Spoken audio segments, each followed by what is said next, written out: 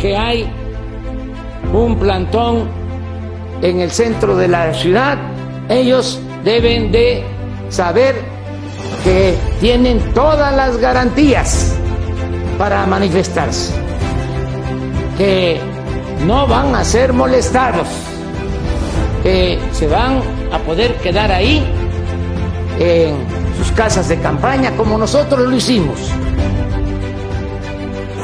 No nos están dejando pasar y encima se están llevando las casas de campaña.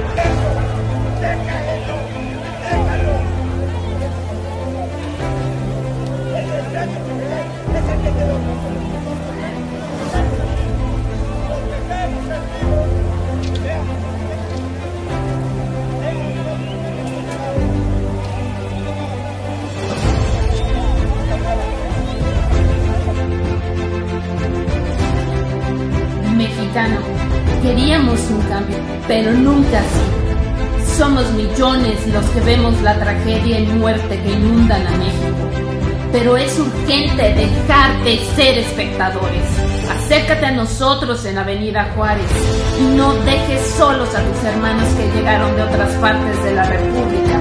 Esto apenas empieza y sabemos contra qué luchamos.